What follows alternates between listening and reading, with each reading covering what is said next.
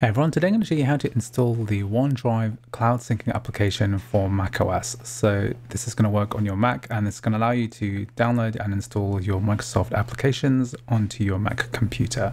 So I'm to leave a link to this software. So I'm to leave a link in the description for this web address and you're to click on download in order to download the OneDrive installer. So click on this and then we're to put this into our downloads folder in Finder. So we're to go into Finder here and then we're to go to our downloads folder, click on this. So once the application has downloaded, we're to go into Finder. I want to go into our downloads folder and we're to find the OneDrive.pkg, which we're to double click on. And once we've double clicked, we're to go through the install wizard here. So we're just going to press continue and we're going to install for all users of this computer and we're going to press install. Here it's asking for a password, just type that in and press install software. Here it's saying the installation was successful, press close.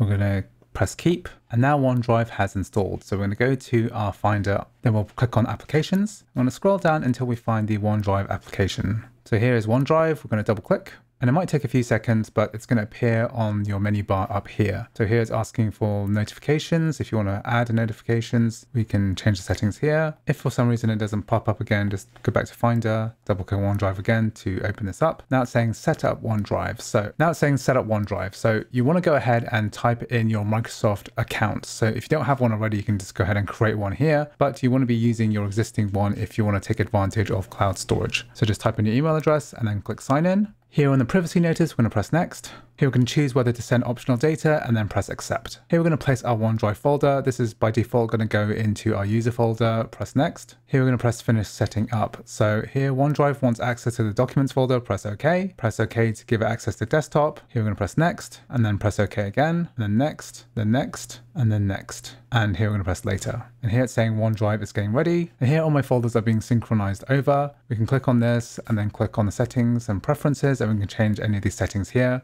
It's basically going to be located on the top of this bar here. And it's going to synchronize all of my existing cloud storage. So anyway, I hope you found this video useful. I've got lots of other videos like this on my YouTube channel, so please check it out. Thanks for watching and I'll see you in the next video.